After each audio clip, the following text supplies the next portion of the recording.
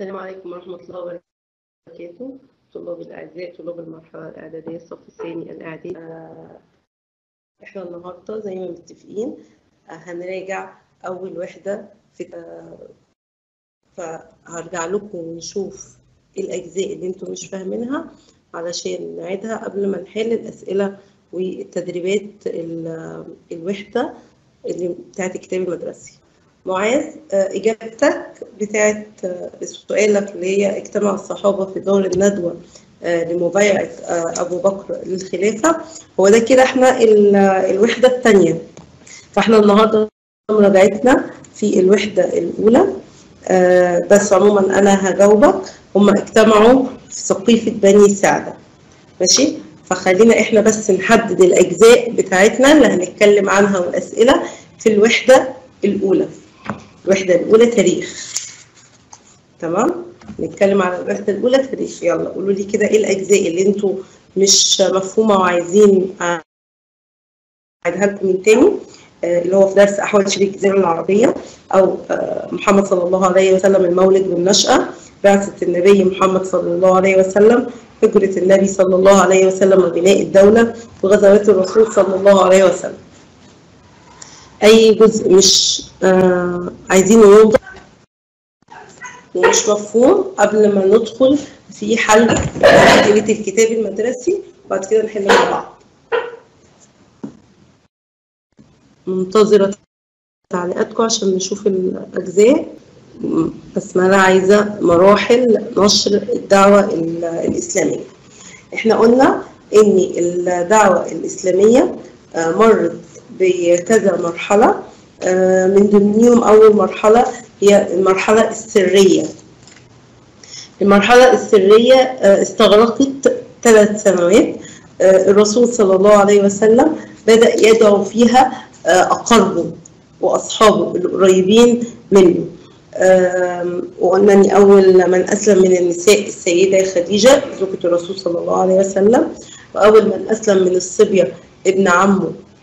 علي بن أبي طالب ومن الرجال آه، أبا بكر الصديق ومن الموالي آه، الخادم بتاعه زيد بن حارثة. دي كانت أول مرحلة.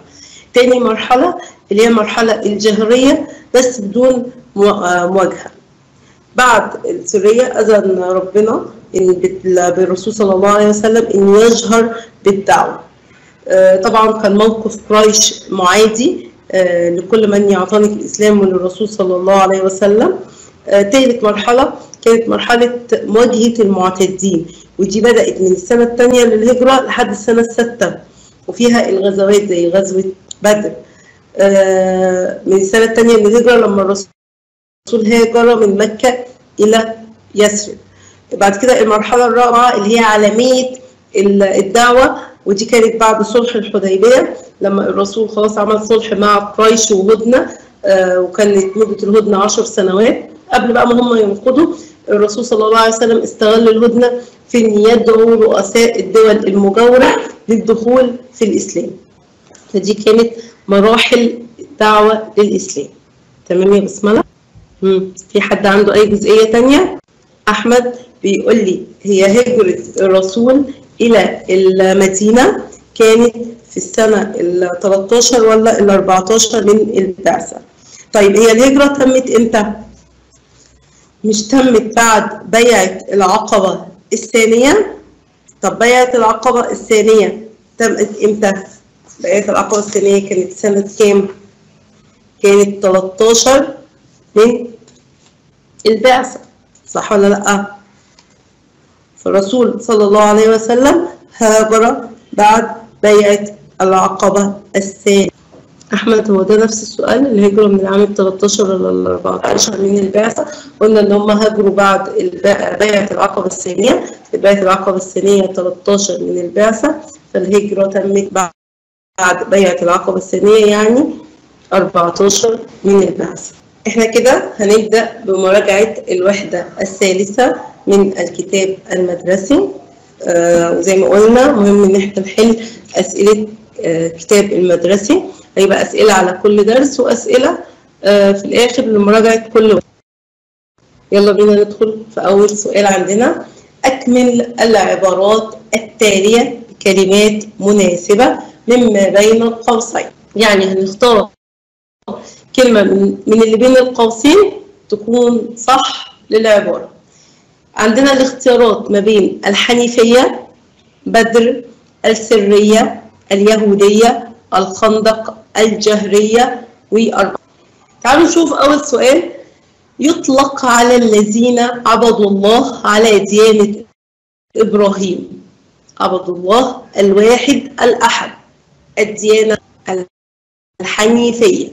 يبقى الديانة الحنيفية تطلق على الذين يعبدون الله الواحد الأحد على ديانة سيدنا إبراهيم عليه السلام. انتصر المسلمون في غزوة هنا. المفروض كان النقط. سنة 2 هجري 2 هجريا أول غزوة بدأ بها الرسول صلى الله عليه وسلم ودي كانت مرحلة الدعوة بالمواجهة بعد الهجرة من مكة إلى يثرب هي غزوة بدر. والرسول عليه الصلاة والسلام كان سبب غزوة بدر. إيه هو السبب غزوة بدر إن الرسول قام بيه؟ إن الرسول كان يريد استرداد أموال المسلمين اللي استولى عليها قريش، استولت عليها قريش بعد هجرة المسلمين من مكة إلى يثرب. فكان بعض الصحابة اقترحوا على الرسول إنه. إن ينتظر القافلة التجارية بتاعت قريش اللي كانت جاية من الشام. وكان بيقود القافلة دي مين؟ أبو سفيان. ولما عرف أبو سفيان بأمر انتظار الرسول والصحابة للقافلة غير طريقه. فزعماء قريش أصروا إن هم يروحوا ويقضوا على المسلمين ويقتلوهم. فحدثت بقى أحداث غزوة بدر واللي أشار فيها الحباب ابن المنذر على الرسول إن هو يعسكر عند بئر من أبار بدر. ودارت المعركة اللي انتصر فيها مين؟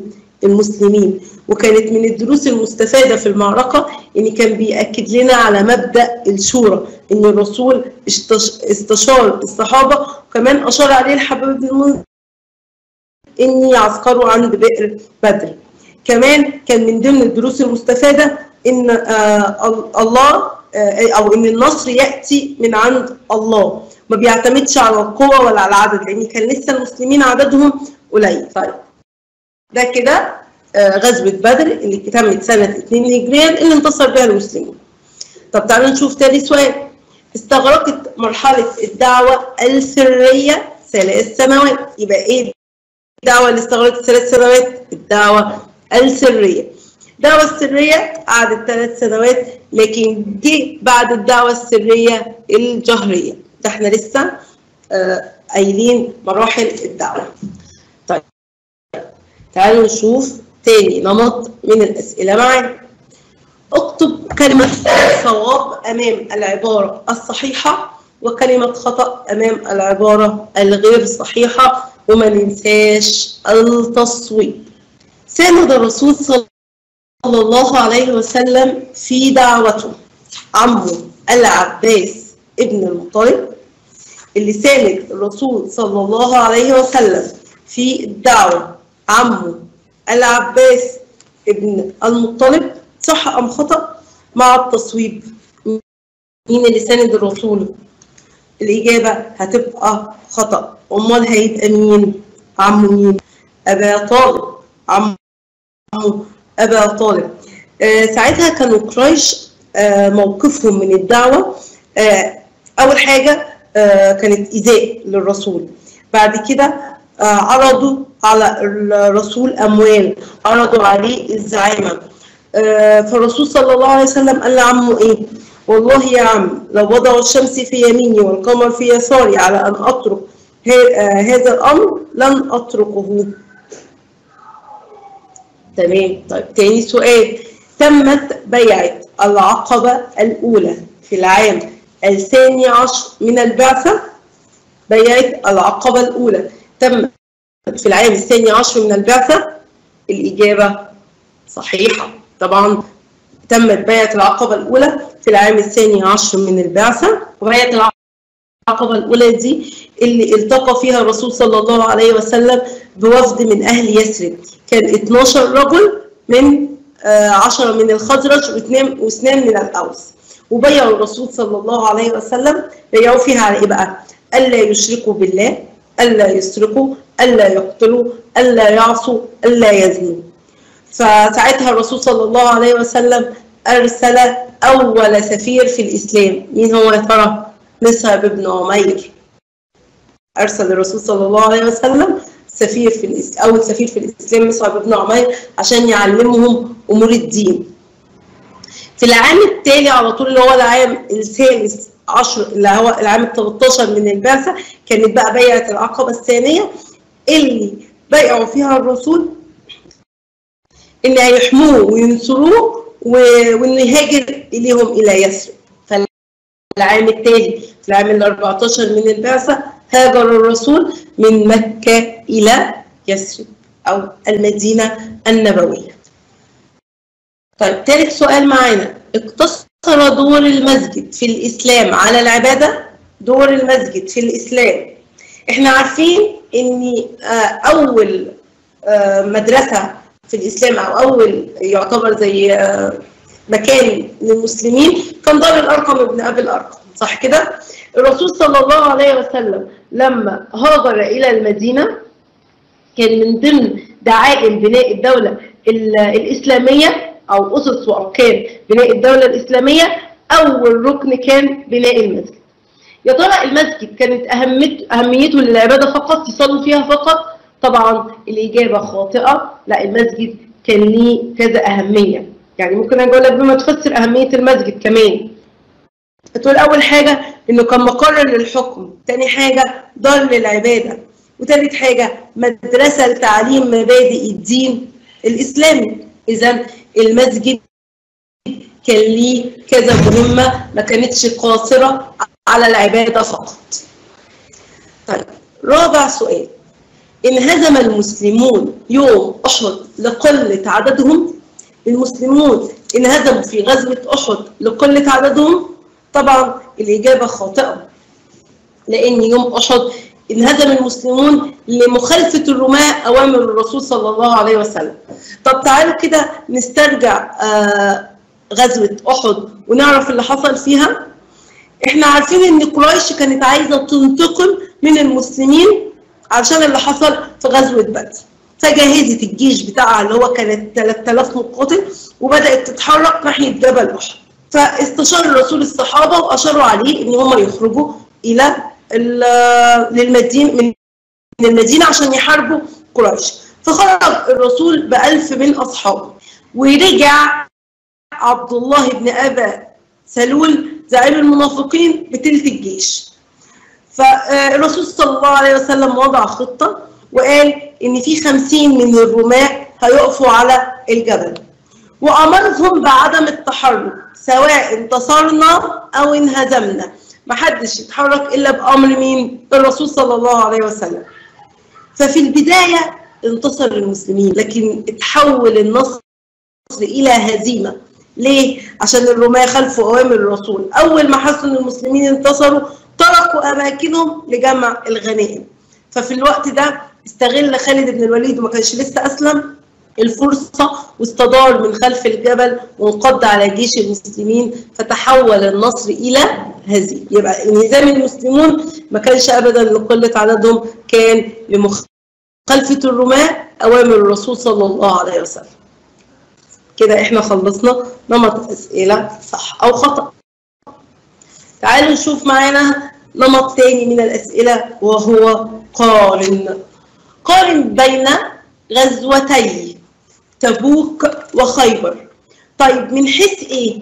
من حيث الأسباب والنتائج أسباب غزوة تبوك إن الروم كانوا بيجهزوا جيش كبير لقتال المسلمين والقضاء عليهم. أما أسباب غزوة خيبر إن الرسول صلى الله عليه وسلم أراد فتح خيبر ليأمن من شر اليهود وغدرهم. طيب ممكن نيجي نسترجع كده الغزوتين مع بعض؟ غزوة تبوك آه، الروم كانوا بيجهزوا الجيش عشان يقتلوا المسلمين فالرسول صلى الله عليه وسلم جهز جيش بلغ 30 ألف مقاتل وبدأ يتحرك بالمسلمين نحو تبوك. تبوك كانت خاضعة للروم بس الرسول ما لقاش حد من الروم حيث قذف الله في قلوبهم الرعب وتفرقوا طيب أمال غزوة خيبر. الرسول صلى الله عليه وسلم كان عايز يامن من شر اليهود وكانت خيبر مركز للمؤامرات والدسائس لليهود ومأوى كمان لمثير الشغب من اليهود اللي حرضوا القبائل على قتل الرسول صلى الله عليه وسلم. آه فالرسول حب إن هو يطلع بغزوة الخيبر عشان يأمن من شر اليهود وغدرهم وخرج الرسول بجيش بلغ عدده 1600 مقاتل وبدأ يحاصر خيبر طب يا ترى إيه النتائج بتاعة الغزوتين؟ هو قايل من من حيث الأسباب والنتائج. أسباب غزوة تبوك إن الرسول عاد بجيشه سالم إلى المدينة، هو لما راح تبوك ما لقاش حد تفرقوا. فالرسول رجع منتصرا بجيشه سالما إلى المدينة. طب في غزوة خيبر انتصر المسلمين بعد ما استسلم كل حصون خيبر. الرسول صلى الله عليه وسلم حصر خيبر. فرجع المسلمين منتصرين بعد ما كل الحصون استسلمت. الرسول أبقى اليهود خيبر في أماكنهم عشان يشتغلوا بحرفة الإيه؟ الزراعة. على أن يكون للمسلمين نصف كل زرع يخرج منها. يعني نص الزرع هيبقى للمسلمين. وفضل اليهود بالمدينة لحد ما أخرجهم خالص مين أو انتهى الوجود اليهودي في عهد الخليفة عمر بن الخطاب من الدروس المستفادة في غزوة خيبر آه إن عدم التآمر مع الآخرين إن نتسامح ونعفو عند المقدرة بالدليل إن الرسول صلى الله عليه وسلم خلى اليهود زي ما هم في خيبر وبيشتغلوا بالزراعة. طيب أمال إيه الدروس المستفادة من غزوة تبوك؟ إن بذل النفس والمال في سبيل الله. يبقى يعني معناها الجهاد في سبيل. دي كانت غزوتي تبوك وخيبر. إحنا كده رجعنا على غزوة أحد على غزوة بدر على غزوة تبوك وغزوة خيبر. تعالوا نشوف معانا نمط تاني من الأسئلة وهو ما النتائج المترتبة على. أسئلة مقالية.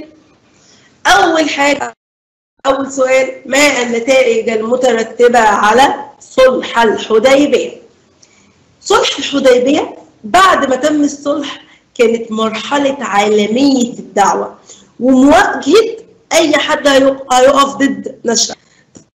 طيب هي إيه النتائج الأول المترتبة على صلح الحديبية؟ إنها كانت فتح مبين على المسلمين، بدأ الرسول صلى الله عليه وسلم إن هو يرسل الرسل لملوك ورؤساء العالم يدعوهم للإسلام. وهنا بدأت مرحلة نشر الدعوة العالمية ودي رابع مرحلة من مراحل الدعوة. صلح الحديبية تم ليه؟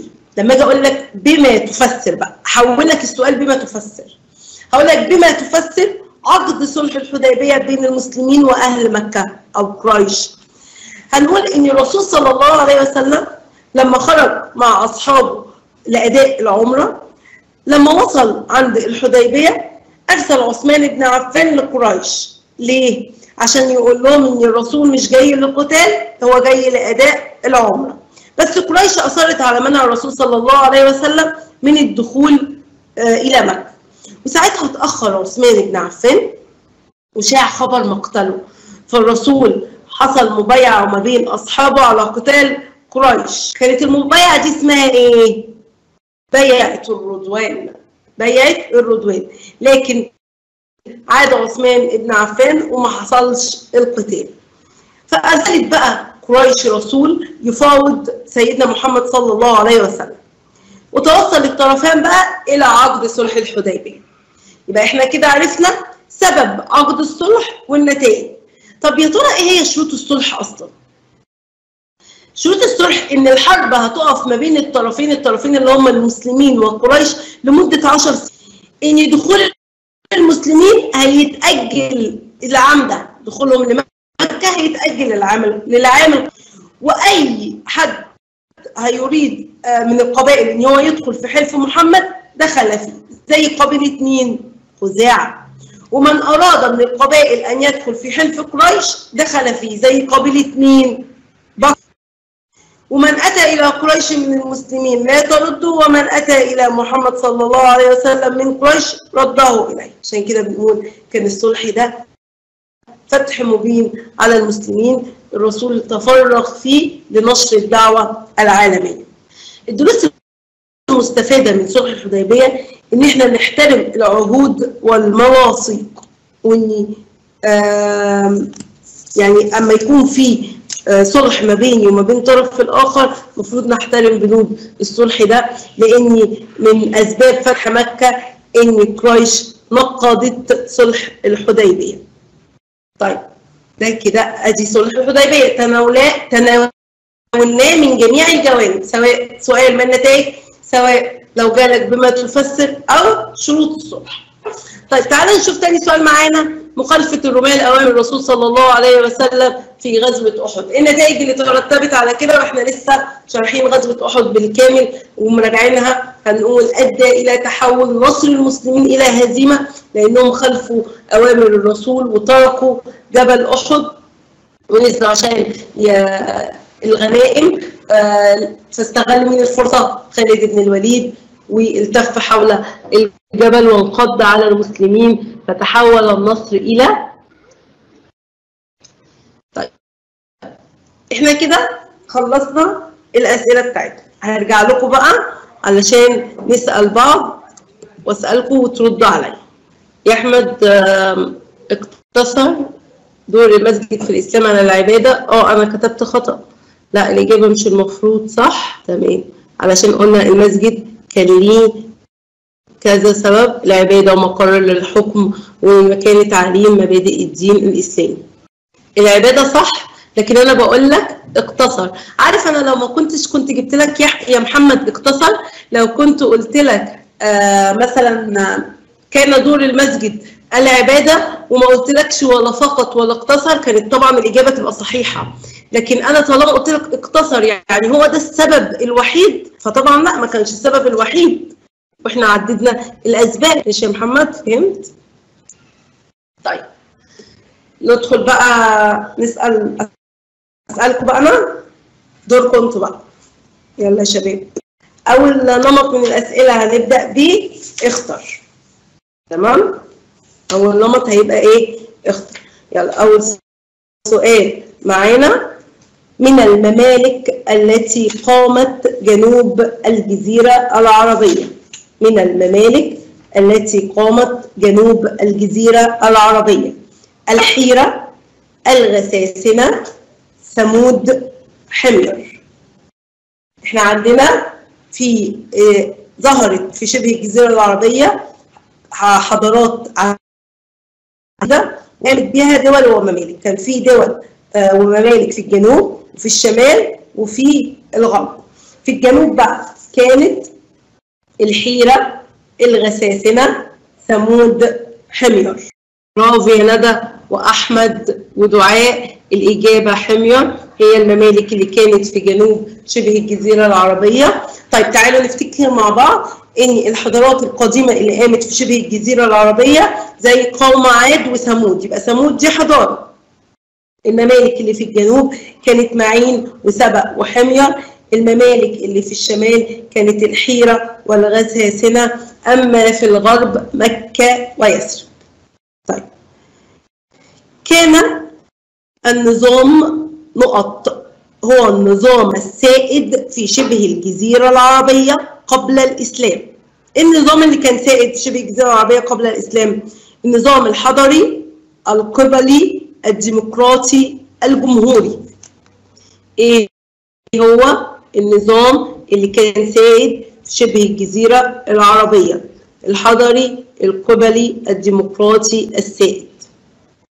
برافو يا بسملة. حسين وليلى الغساسنة في الشمال. حمير في الجنوب السؤال كان جنوب شبه الجزيرة العربية برافو أحمد وحسين ومعاذ ودعاء وندى الإجابة هي النظام القبلي. النظام القبلي لأن شبه الجزيرة العربية كانت عبارة عن قبائل متفرقة. ممكن السؤال يجي لنا بما تفسر. بما تفسر كان النظام السائد في شبه الجزيرة العربية النظام القبلي. ساعتها هنقول لأن كانت شبه الجزيرة العربية عبارة عن قبائل متفرقة. طيب من أشهر أسواق العرب قبل الإسلام سوق الاختيارات بقى الحجاز حمير بغداد ذي المجاز. من أشهر أسواق العرب قبل الإسلام سوق الحجاز حمير بغداد ذي المجاز من أشهر أسواق العرب قبل الإسلام سوق الحجاز حمير بغداد ذي المجاز. الاختيار دعاء ومعاذ وندى وأحمد. برافو عليكم سوق ذي المجاز. طب مين يقول لي هي ليه كان الأسواق لها شهرة؟ بما تفسر شهرة الأسواق في شبه الجزيرة العربية. ليه كان ليها شهرة؟ وسؤال بما تفسر ده ممكن يجي لنا بكذا طريقة بس لما تجاوبوا لي هقول لكم. حسين يا حبيبي حمير دي مملكة. أنا بقول لك عايزة آه سوق. فمن أشهر الأسواق ذي المجاز. ماشي يا ندى. قولي لي بقى يلا. ليه الأسواق كان ليها شهرة في شبه الجزيرة العربية؟ بما تفسر. شهرة الأسواق في شبه الجزيرة العربية. برافو دعاء. برافو يا حسين. وأحمد ومعاذ وليلى. هنقول لانها كانت مجال لتنافس الشعراء وكان ليها أهمية تجارية يعني كان ليها أهمية تجارية وثقافية. يبقى هاجي أقول لك إن ممكن أجي أقول لك بما تفسر لم يكن للأسواق شهرة تجارية فقط. هتقولي لأنها كانت مكان لتنافس الشعراء. يبقى السؤال ممكن يجي لي بصيغتين في بما تفسر. تمام برافو عليك. نخش على سؤال. آخر. يعتبر دار نقط أول مدرسة في الإسلام. دار نقط أول مدرسة في الإسلام. الندوة مجنة الأرقم ابن أبي الأرقم رضي الله عنه أبا أيوب الأنصاري رضي الله عنه. تعتبر دار نقط أول مدرسة في الإسلام. إحنا قلناها وإحنا بنراجع. ماشي يا أحمد عشان كده أنا بستنى شوية عشان تكونوا جمعتوا السؤال ورديتوا عليا وكتبتوا برافو دعاء وحسين وأحمد دار الأرقم ابن أبي الأرقم دار بالدال دار الأرقم ابن أبي الأرقم ومعاذ وندى دار الأرقم ابن أبي الأرقم أول مدرسة في الإسلام وكانت في المرحلة الإيه؟ السرية كانت في المرحلة السرية طيب كانوا ثلاثة وسبعين رجلا وامرأتين من أهل يثرب. بايعوا الرسول صلى الله عليه وسلم على نصرته في بيعة العقبة الاختيارات الأولى الثانية الثالثة الرابعة. كانوا 73 رجل وامرأتين. بايعوا الرسول في بيعة العقبة الأولى الثانية الثالثة الثالث الرابعة الأولى الثانية الثالثة الرابعة أنهي بيعة؟ برافو بسمة برافو يا ندى. البيعة الثانية. بيعة العقبة الثانية. 13 من البعثة. التقى فيها الرسول صلى الله عليه وسلم. 73 رجل وامرأتان. وبيعوه ان هم يحموه وينصروه إن هاجر إليهم. أما بيعة العقبة الأولى كان 10 من الخزرج واثنين من الأوس يعني 12 رجل 12 رجل. تمام برافو عليكم يا شباب. دعاء وأحمد ومعاذ وبسملة وحسين برافو عليكم. كان دليل الرسول صلى الله عليه وسلم في هجرته إلى يثرب عثمان بن عفان علي بن أبي طالب عبد الله بن أريقط زيد بن حارثة مين اللي كان دليل الرسول صلى الله عليه وسلم في الصحراء إحنا عارفين إن الرسول اختار أشخاص قادرين على تنفيذ المهمة. يا ترى مين اللي كان دليل الرسول في الصحراء؟ عثمان بن عفان علي بن أبي طالب عبد الله بن أريقط زيد بن حارثة. الرسول وضع خطة اختار أشخاص مناسبين للهجرة من مكة إلى يثرب برافو دعاء وأحمد عبد الله بن أريقط عبد الله بن أريقط الرسول صلى الله عليه وسلم استأجره كدليل أمين يدلهم على الطريق ما كانش لسه أسلم. والرسول من ضمن الأشخاص اللي اختارهم في أو نجحوا في الخطة مع الرسول علي بن أبي طالب وقلنا إن هو كان أول فدائي في الإسلام وهو اللي نام في فراش الرسول. وعبد الله بن أبا بكر ده تتبع أخبار المشركين أسماء بنت أبي بكر أحضرت الطعام للرسول صلى الله عليه وسلم وأبا بكر. عامر بن فهيرة كان بيرعى الأغنام حول الغار علشان يخفي الآثار طيب. قولوا لي كده بقى. إلى من تنسب الأعمال؟ إلى من تنسب الأعمال؟ أول سفير في الإسلام. أول سفير في الإسلام. برافو عليكم إجابتكم كلها صح اللي فاتت يلا إلى من تنسب الأعمال إن هو أول سفير في الإسلام مم. أول سفير في الإسلام مين؟ برافو يا دعاء مصعب ابن عمير وهو أول سفير في الإسلام أول سفير في الإسلام مصعب ابن عمير طب مين هو إلى من تنسب الأعمال؟ أشار على الرسول صلى الله عليه وسلم بحفر خندق حول المدينة. أشار على الرسول صلى الله عليه وسلم بحفر خندق حول المدينة. مين اللي أشار على الرسول إنه يحفر خفر خندق حول المدينة؟ وساعتها لما شافتها قريش قالت دي مكيدة لم يعرفها العرب من قبل. مين اللي أشار على الرسول؟ هدى ومعاذ وحسين. ماشي برافو عليكم ده السؤال اللي قبل يلا جاوبوا لي السؤال ده. مين اللي أشار على الرسول صلى الله عليه وسلم بحفر خندق حول المدينة؟ سلمان الفارسي برافو يا ندى.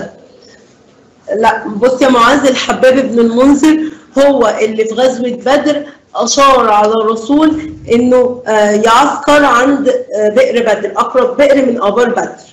ماشي؟ لكن سلمان الفارسي هو اللي أشار على الرسول صلى الله عليه وسلم إني يحفر خندق حول المدينة. برافو عليكم طيب ملك عادل لا يظلم لا يظلم عنده أحدا أبدا. اللي هم هاجروا له المسلمين في أول هجرة بس الرسول ما كانش معاهم. مين هو الملك ده؟ مين الملك؟ اللي هو آه عادل لا يظلم أحد وكان هاجر للمسلمين. آه آه في أول هجرة خالص الرسول ما كانش معاهم حتى قريش ساعتها كانت قالت له إن يخرج المسلمين وما يستقبلهمش في الهجرة. هو رفض قال هيسمع لهم الأول وده طبعا بيدل على عدله. ملك الحبشة الجيش الحبشي برافو عليك.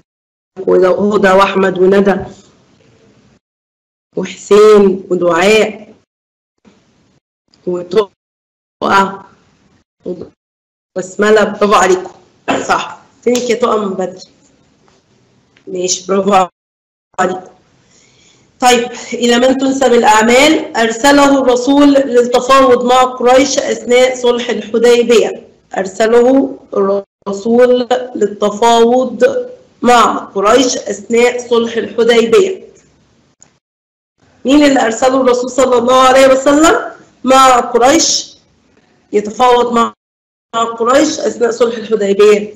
وساعتها أشاع خبر مقتله فالرسول هو وأصحابه اتفقوا حصل بيعة الرضوان عشان يخرجوا يقتلوا قريش. بس هو عاد سيد عثمان بن عفان برافو ندى ودعاء وأحمد برافو. طيب آخر سؤال معانا إلى من تنسب الأعمال؟ قائد قريش. الذي كان سببا في هزيمة المسلمين في أحد قائد قريش وهو أسلم بعد كده. قائد قريش بس ساعتها كان لسه ما أسلمش. اللي التف حوالين الجبل وانقض على المسلمين وكان سبب في هزيمة المسلمين في أحد. مين هو القائد ده؟ خالد بن الوليد برافو يا دعاء وأحمد خالد بن الوليد. بس ما بن عفان دي إجابة السؤال اللي قبله آه تمام. اللي هو كان الرسول اللي أرسله يتفاوض مع قريش. خالد بن الوليد قائد قريش اللي آه، حول نصر المسلمين إلى هزيمة في غزوة أحد. برافو عليكم تمام.